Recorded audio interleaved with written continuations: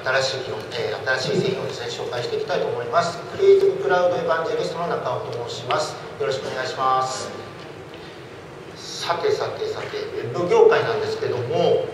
えー、今大きな変革の時期を迎えております、えー、スマートフォンやタブレット、えー、ものすごく急速にですね普及してきまして情報を得るためのデバイスが多様化してます。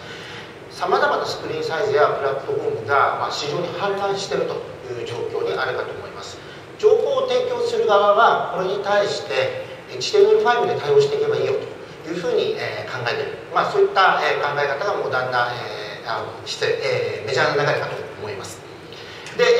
えー、HTML5 なんですけども、えー、コアの部分は、えー、こんな感じなんですけども実はですね日々周辺のテクノロジーがどんどんどんどんこう出てきてアップデートされてるという状況にございます。えー、まあ HTML5 でなんとかっていうふうにですね、えシンプルに語られがちなんですけども実際に制作を行う側開発を行う側はですねこういったテクノロジーを把握しキャキャッチアップしてですね、えー、うまく使いこなしていかなければいけないっていうですねものすごく大変な、え状況に今なっているということが言えるかと思います。で、えーまあ、こういったですね、えー、モダンウェブそしてモダンなアプリケーションを、えー、もっと効率よく開発する、え、こういった新しいテクノロジーを、え、効果的に利用していくと、え、いうことをですね、え、実現するために Adobe は、え、昨年の秋エッジツールサービスというですね新しい製品ラインナップの提供を始めております。そして、えー、Adobe としてはかつてないスピードでアップデートすることによって最新テクノロジーの、え、キャッチアップに努めているそして今回ですね、えー、古くから多くの、えー、皆様にご利用いただいておりますドリームウィーバー。そしてフラッシュプロフェッショナル、え、こちらの方も、え、モダンウェブに対応した形の進化を遂げております。デザインからコーディングそして、え、テストに至るまで、えーまあ、各ワークフローをですね強力にサポートする Adobe のツール群なんですけどもえー、今回モダンウェブのために隅々までアップデートしておりますので、えー、こちらご紹介していきたいと思います、えー、ウェブツールとってもたくさんあるので、えこうえ、可能な限りですね紹介できればと。ております。そして最初にご紹介するのが、えー、こちらになります。Adobe Dreamweaver CC でございます。えーまあ、コーディングのみならずですね、えー、ウェブのデザインとかサイトの管理、えー、最近ですとアプリケーション制作とえーまあ、幅幅広くですね、えー、ウェブのワークフローをカバーする、まあ、ウェブの統合制作環境と、えー、なっておりますけども今回 CC になりましてアップデートのポイントいくつかございます、えー、まず可変グリッドレイアウトですね、えー、こちら CS6 の時に搭載されたさまざまなデバイスに対応したサイト、えー、ページ作りを行うための,、えーまあ、あの機能なんですけどですけども、えー、今回、えー、より洗練され、えー、とても使いやすくなっています。そして、えーまあ、 Creative Cloud ならではの、えー、機能ということで、えー、今日ですね、えー、何度も、えー、ご紹介差し上げてるんですが、えー、設定の同期。これがドリームウィーバー CC でもご利用いただくことが可能になっております。特に Dreamweaver の場合ですね、えー、サイト設定の同期も行えると。えーまあ、あのステージングサーバーの設定、あるいはですね FTP のサーバー FTP サーバーの設定、えー、こういったところですね結構大変です。あ特に環境が変わったりとかですね、えー、また再設定大変だっていうことがあるんですけども、えー、これもですね Creative Cloud に、えー、設定をまあ保存してですね、えー、サインインするだけで、えー、全て、えー、ポンとすぐにプロジェクトを始めることができるという、えー、形になっております。そして、えー、今回のですねドリームウィーバー CC の目玉の機能になりますのが、え、この左上にございます。CSS デザイナーという機能でございます。で、えー、こちらですね、まあ、あの CSS の、えー、ハンドルをですね、えー、根本的に、えーまあ、あの新しくした、えー、ツールになっております。こちらですね早速見ていきたいと思います。はいこちらがドリームでございます、え、メニューとかですね、えーまあ、ツールバー、えー、そして、えー、新作成のダイアログに至るまでですね、えー、全部しあのすっきりした印象に今回なっております。そして、えー、この画面右手にございますのが、え、CSS デザイナー、えー、と、え、なっております。でいくつかの、え、パネルから構成されてるんですけども左側の、え、この3つのパネルで、え、編集を行いたい箇所を、え、見つけていくと、えー、一番上のソースパネルで CSS を選択しましてでこのメディアパネルで、えー、例えばですねスマホ用なのかタブレット用なのかあるいはデスクトップ用なのかといったところを選んでいきます。でそこに関連するセレクターを、えー、選択して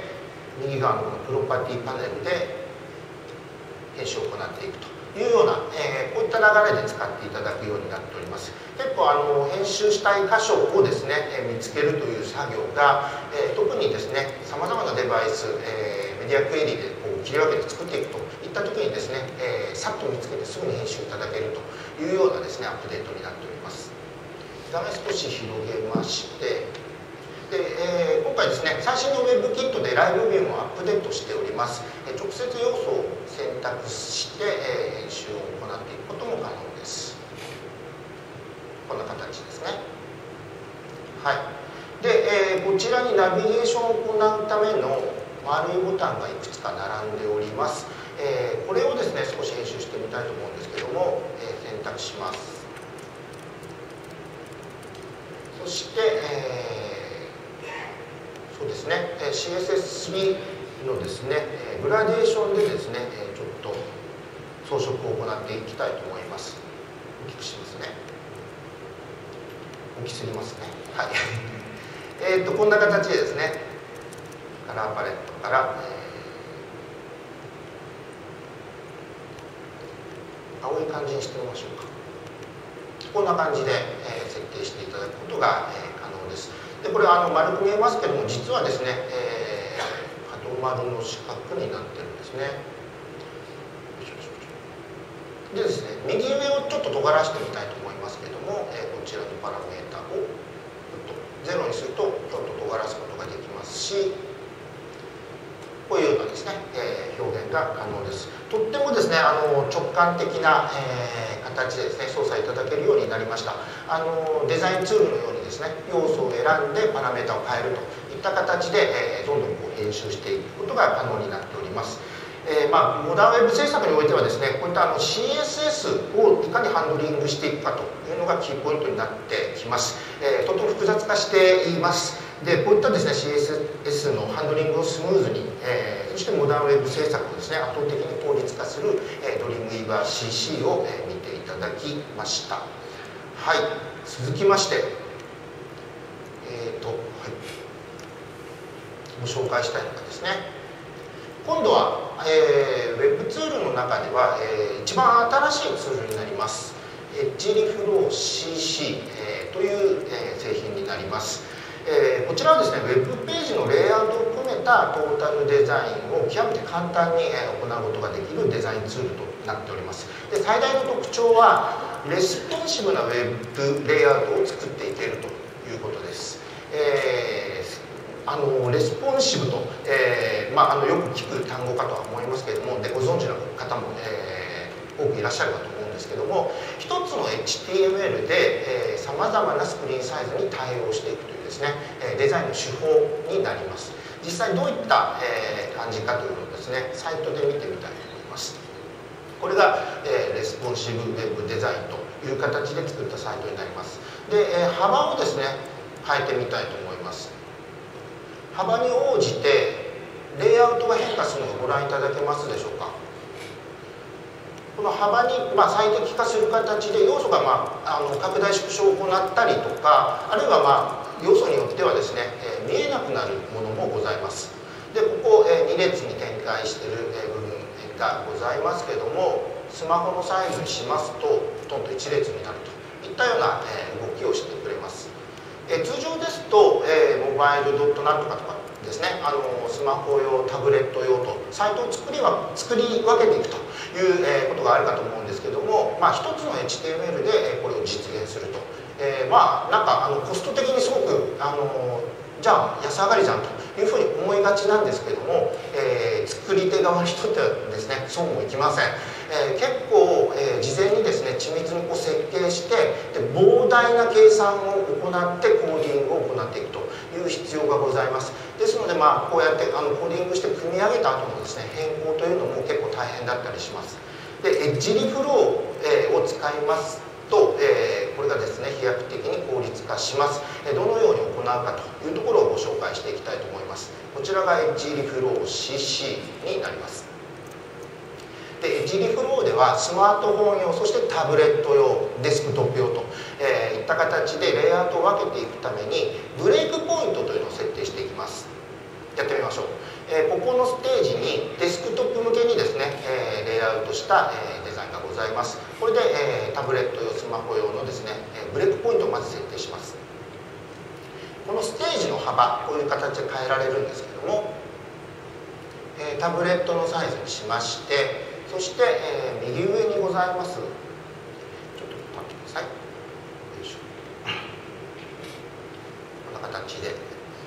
見やすくしますね。で右上にございますこのプラスのボタン、えー、ここをクリックいただくとブレイクポイントが設定されます。そして、えー、続きましてスマートフォン用の、えー、サイズにしましてここにもブレイクポイントを打ってきます。こんな形です。で、えー、これですねあの数値で、えー、こうピクセル、え、単位でですね指定していくことも、え、可能になっております。例えばここで、え、これは iPad 用そして iPhone 用と名称をつけて作り分けていくということが可能です。はい、え、これで、え、今3つのですねレイアウトを行っていくための器が出来上がったわけですね。で、えー、このブレイクポイントごとにちょっとレビューしてみたいと思うんですけども、え、例えばこの辺りですね、え、これがタブレットで見た時はまあいいとしてスマートフォンで見るとと結構詰まった形でですね見づらい。で、えー、見てみるとですね、えー、こちらのですね、えー、カラムがですね、えー、まああのスマートフォンでは見せなくてもいいんじゃないかということで非表示にしてみたいと思います。このウィンドウの下にございます、えエレメンツパネルという、えパネルがございます、えここでですねドム単位でこう見ていくことが可能です。で該当する箇所をちょっと見つけ出していきます。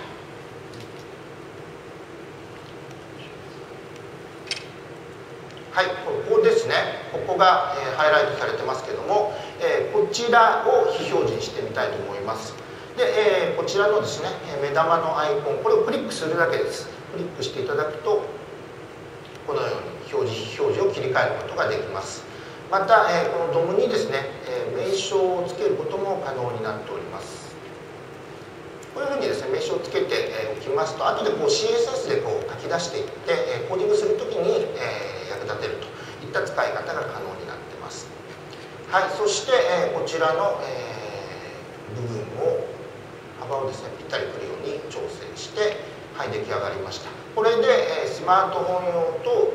タブレット用といった形で作り分けていくことが可能です。はい、でデスクトップ用のですね、えー、このレイアウトでちょっと左の上左上の部分ですねご注目いただきたいんですがこちらに、え、ナビゲーションページ間のですねナビゲーションを行うためのメニューがございます。で、え、このメニューに対してですね、えこんなことも行います、えこちらのですねポジションというですね設定の中からネクストという設定を行う、えーと、ごめんなさいねこのメニューなんですけども、えーと、スクロールすると上に行っちゃうんですね。見えなくなっちゃう。はい。で、えー、これに対してウェブの方だとご存知かと思いますけどもフィックストっていう設定をすることが、えー、リフの中で可能です。でこうしてあげますとこんな形でメニューを固定化することが可能です。でこれはあのこういったサイト最近よく、えー、見るかなと思いますけどもこういった最新のトレンドもですねどんどんどんどんリフローの、え中に取り込まれていきます。はい。こういった形でデザインしていって最終的にですねデザインが完了した、えー、ファイルをちょっと見てみたいと思いますえー、と見つからないとちょっとお待ちくださいね。すごくですねあのデザインツールの感覚で、まあ、作っていけるというところが、えー、リフローの最大の特徴になっております。で、えー、とこちらですね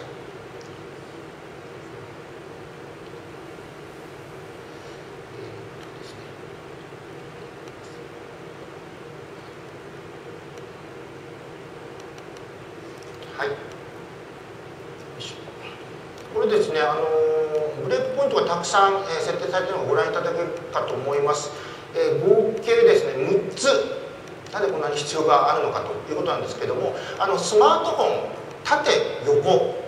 で、まあ、タブレットもいろいろありますけどこうやって縦横でですねレイアウトを作り分けていくことができるんですね、えー、そういった形で細かくですね、えー、きめ細やかにこう作り、えー、ていくということが可能になっております。そして、えー、ジルブルーですね最大の,、えーまあ、あの特徴というかですね、えー、機能なんですけども、えー、エッジインスペクトと連携させて、えーまあ、あの実機での検証を行うということが可能になっております。今こちらに、えーまあ、iPhone がございますけども、えこの iPhone に映し出していきたいと思いますので、えー、こういった、えー、ちょっとツールを使いまして画面にですね、え iPhone の画面を、え出していきます。そしてそのインスペクト連携を行うためのボタンがここにございます。これをオンにしてみたいと思います。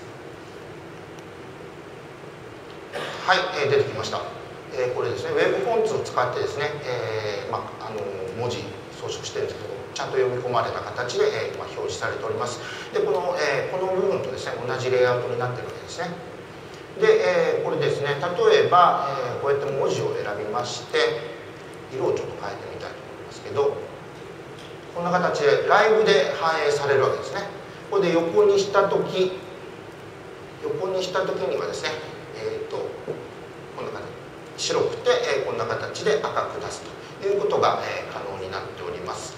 えー、もうこれですねあの従来ではちょっとですね、えー、まあ無理というかですね結構コーディングに時間がかかるということで実機検証を行うためにはまあコーディングが必要だというところでですねえー、なかなか難しかったんですけども、えー、ジリフローを使っていただくと、まあ、初期のこの情報デザインの段階で、ま、この実機で実際に動く、まあ、カウントを作ることが、えー、可能です。えー、ここの、段階で、えーまあ、細かくですね仕様を詰めて、えー、クライアントのコンセンコンセンサスを得た形で実際に、えー、コーディングに移れるとでコーディングに移る際もですね、えー、 Reflow の方からですねこういった形で、えー、メディアクエリで切り分けた形の CSS を書き出して、えー、再利用していくことが、えー、できますので、えー、効率的に、えー、制作していくことが可能です。まあ、レスポンシブウェブデザインとても難しいとされて、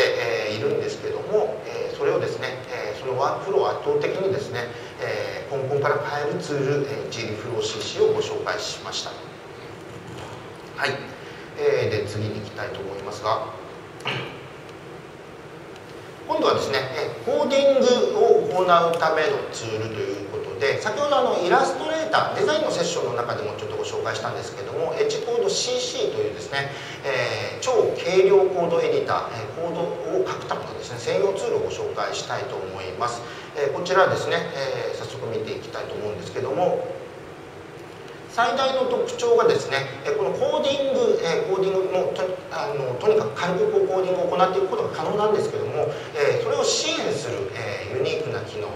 がございます。これを2つご紹介したいと思います。1つはですねあの実際に、えー、まあ、デザインセグメントでも、えー、ライブをしておりあのご紹介しておりましたけどもこちらですね。ライブプレビューという機能です。えー、今このコーディングを行っている内容をですね、えー、Chrome ブラウザに、えーライブで表示していくことが可能です。右上のですねこの雷マークをクリックいただいても表示することが可能です。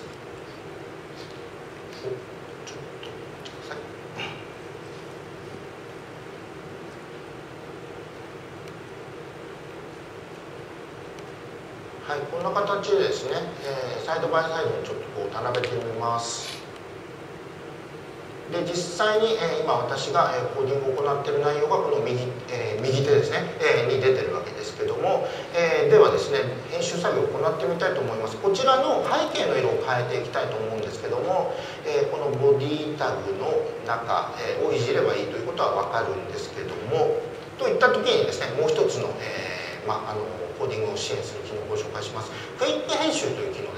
えー、マッキントッシュであればですねコマンド E Windows であればコントロール E をここで押していただくと、えー、関連する CSS の一覧がパッとこう出てきます。でこの中からこう選択してですね、えー、編集を行いたい箇所を、え、見つけることができるようになってます、え、ここでですね、えー、バックグラウンドカラーというですねエリアが見つかっております。で、えここでですねカラーコードを入力いただくとこんな形で黄色く変わったのがご覧いただけますでしょうか。あるいは赤といった形でですね、え変えていくことができます。また、えー、カラーコードわかんないとか直感的に入力したいということであれば、え、こちらのリンクから直接ですね該当する CSS の、え、該当する箇所にジャンプしましてえ、そして、え、これでですねあのチップスが出るのも新しく、え、追加された機能なんですけども再び、えー、クイック編集を行っていただきます。これで、えー、直感的にこうやって色をですね選んで入力していくということが可能になっております。で、えー、この Edge Code ですね実はこの Edge Code 自身が HTML5、CSS3、JavaScript で、えー、コーディングで書かれたツールになっております。非常にユニークな、えー、ツールでございます。で、えー、間もなくですね、えー、プレビュー4という形でアップデートが行われるんですけれども、えー、ユーザー自身でどんどん拡張していくことが可能です。 Edge Code そのものを拡張することも可能ですし、え、このエッジコードのための拡張機能というのはですねどんどん、えー、もう実際に作られてるんですけどもで、えー、今回ですね URL を指定するだけでどんどんこの拡張機能を組み込んでいくといったようなアップデートが行われております。ぜひですね、えー、多くのですね講談の方にご利用いただいて、えーまあ、フィードバックいただければなと思います。自己同 CC ご紹介しました。そして、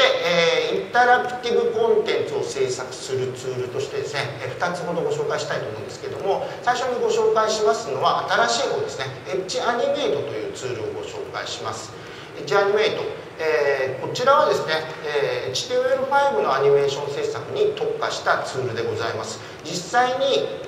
えー、まああのさまざまなデバイスで動く、えー、バナーあるいはインタラクティブなバナー、えー、そして、えー、ユニークなのは HTML をこうアニメートの中にこうまるっと読み込んでいただいてですね、えー、行動線しない形で動きを加えていくというようなことも可能になっております。また、えーまあ、HTML5 ベースの、えー、スマホ、えー、タブレットを対象としたアプリというのが出てきておりますけれども、えー、実際にエッジ、えー、アニメートを使ってですね、えー、作られたコンテンツというのも事例として出てきておりますそして今回、えー、ジアニメート CC という形で、えー、アップデートになったんですけども、えー、この、えー、ジアニメート CC からですね、えー、優勝メンバー向けの、えー、サービスとなります、まあ、優勝化すになったということでですね、えー、機能も、えー、さらに充実してきております、えー、特に表現という部分で、えー、要望の多かった、えー、ところが入ってきております。モーションパスが、えー、この CC でサポートされておりますのでこちらちょっと見ていきたいと思います。はい、えー、こちらがエッジアニメイトになります。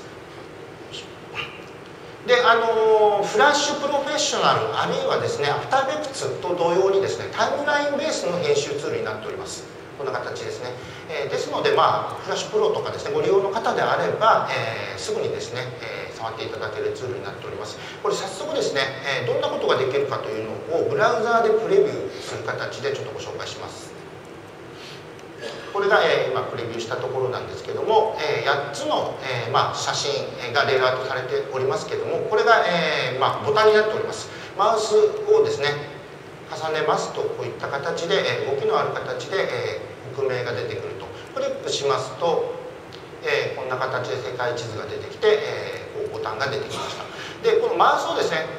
えー、やっぱり動かしますと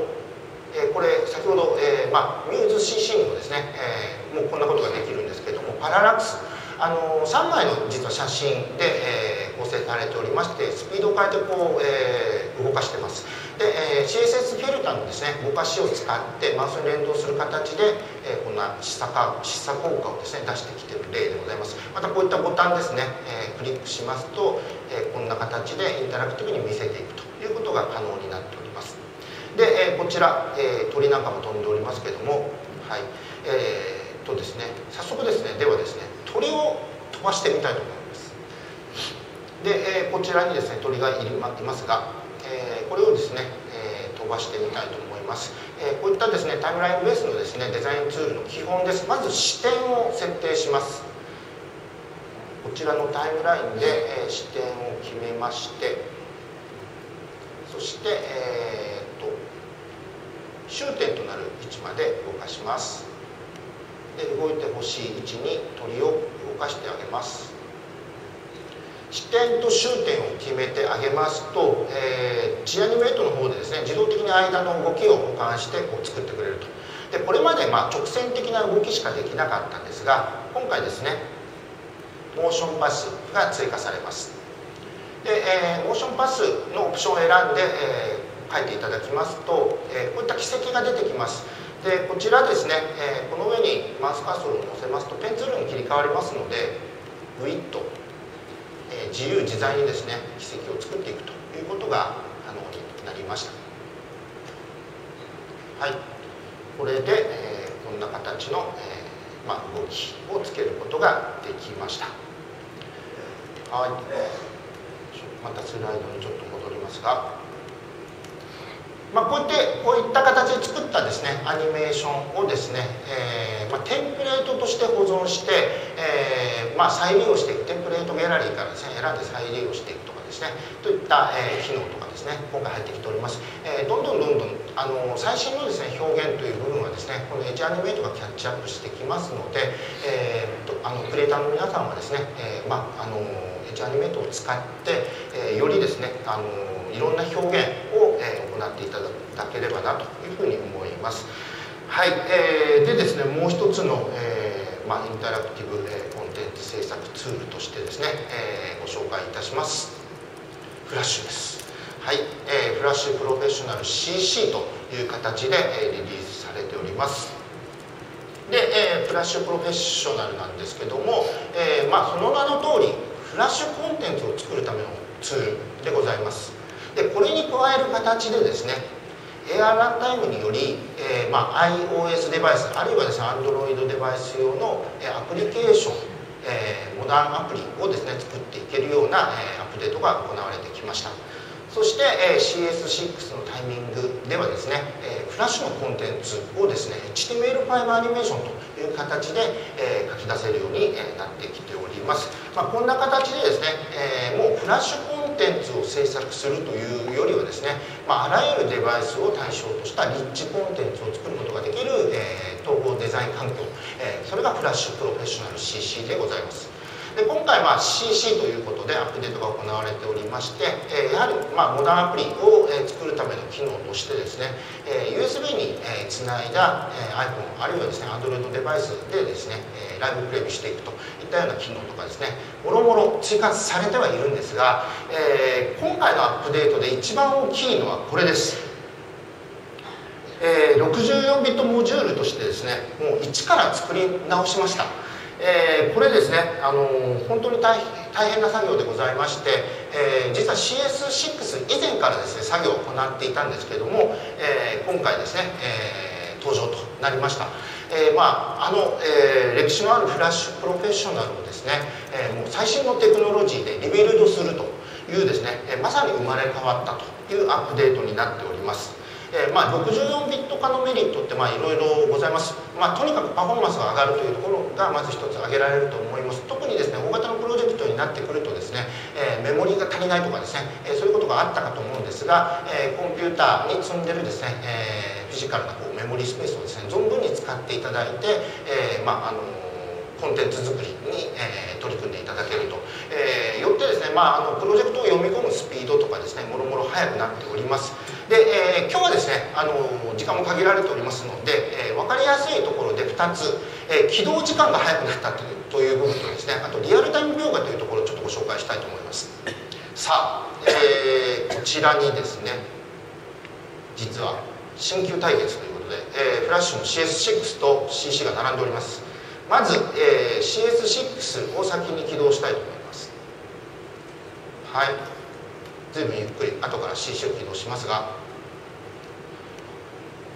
あっという間にですね 抜き去って CC の方が起動しています。まだ CS6 の方は、えー、来ないようですね。あそれ来ましたね。あの2倍以上、えー、もうあの2倍以上確実に速い、えー、アップデートになっております。あの特にまあ何もない状態でも、えー差がこう出ますけどもあの大きなプロジェクトを読み込むといったところでですね、えー、とても大きな差になってくるのではないかなというふうに思います。でえー、っとですねえー、ここでですね、えー、よく行う作業として、えーまあ、四角形をですね一つ書いてみたいと思います。で、えー、今私ですね実はこれ CS6 の方で、えー、書いておりますけれどもはい。まあ、こんな形でワイヤーフレームが出てきまして離すとこう描画されると。あるいはまあこの要素を選んで、えー、カラーパレットから色を選ぶと色がつくと、はい、これがこれまででございました。で、えー、じゃあ CC ではどうかというところなんですけどもこれですね。分かりやすいようにちょっと線を太くします、えー、こんな形ですねライブでこう表示されております。で、えー、またこれ色をつけていく時もですねパレットの上にですね、えもうカーソルを乗せただけで、えーまあ、ライブフィードバックを得ながら描画していくことができます。あのまあ、こういったですね、えー、細かいところ、えー、あるいはですね、あのまあ、一つ一つのこうメニューを開くとかですねウィンドウのサイズを変えるというですね、えー、こういったところがキビキビ、えー、動きます。で、えー、こういった、あのところ全てをですね統合して、まあ、あのトータルでパフォーマンスがものすごく上がっているというところをですねご実感いただけるかなと思います。また64ビットのメリットとして、えー、今回ですね HD ビデオの書き出し、えー、が、えー、できるようになりました、えー、高画質のですね、えーまあ、あの映像を、えーまあ、あのフレーム落ちない形でですねどんどん書き出していけますので、えー、またあのフラッシュコンテンツのですね、えーまあ、パブリッシュ先が一つ、えー、広がったということが言えるかと思います。そして、えー、もう一つですねあのスカウトというですね、えー、フラッシュの相棒となるツールが、えー、リリースされておりますので、えー、ちょっと簡単にご紹介しますけどもえー、っとこちらになります。ちらがスカウトでございます。でこれはですね何かというとあのフラッシュコンテンツのプロファイリングを行うためのツールです、えー、使い方はとても簡単でございます、えー、こんな形でですねスカウトを立ち上げておきます。そして、えー、フラッシュの、えコンテンツをその前で再生してあげるという形で、えご利用いただくことが可能です、えここではですね iPhone 用の、えアプリケーションがございますので、えそちらを、えちょっと実行する形でですね、え見ていきたいと思います。ちょっと待ってくださいで、えー、っとですね、とても、えー、分かりやすいツールになっております。えー、っとですね、スカウトが左上の方ですね。はい。えー、っと、これで実行してみます。でですね、もうあの実行した、えー、途端にですね、後ろでですね、えスカウトが何やら動いているのかご覧いただけるかと思います。で、えー、まあゲームなんですけれども、えー、ゲームなんかやってる、えー、場合では全然ないぐらいですね、え、ちょっと時間も押してるんですが、え、こんな形でですねちょっと動かしました、え、これで十分でございます。スカートの方にですね、え、フラッシュ起動してから、え、終了するまでの全てがえ、記録されてるんですね。こんな形でですね横軸がまあ時間軸になるんですけどもでこういったあの赤い輪がございます、えー、理想的な FPS をさ、えー、示しているんですがここを超えている部分っていうのが、えーまあ、負荷がものすごくかかってるぞということを示しております、えー、これまでですねゲームコンテンツとか作る時にですねなんとなく重いとかですね、えー、あの、え、シーンの3番目のシーンがですね少しこうなんかもたるとかですねそういった感覚でこう直していたかと思うんですけどもこのスカウトを使うと、え、どこに問題があるかというのがフレーム単位でこう追いかけていくことができます。えアクションスクリプトの中にあるとかですね、えこんな形で、えブレイクダウンして見ていったりとか、えあるいはですねどの API がどこから呼ばれてるのかとったところをですね解析していくということが可能になっております、まあ、こういったですね新しいあの、まあ、あのフラッシュの相棒を得てですねよりあのあの品質の高いですねフラッシュコンテンツを作っていくことが、え可能になっております。はい、えー、ということでですね、えーさまざまなツールがですねアップデートす、えー、したところをですねご紹介してまいりました、えー、まあ、こういったですねあのいろんなテクノロジー出てきますけども、えー、こういった部分はですね全て、え私たち、えー、アドビにお任せください。であのクリエイターの皆さんはですね、えまあ、良いウェブをですね、え作ることに、え集中していただくことをですね、え私たちは願っております。えー、ということでですね、えー、モダンウェブの進化とともに、えー、パワーアップしたウェブツールをご紹介してまいりました。ありがとうございました。はい、えー、続きまして、えー、Adobe Systems 古田より、えー、ビデオの新機能をご紹介してい、えー、きたいと思います。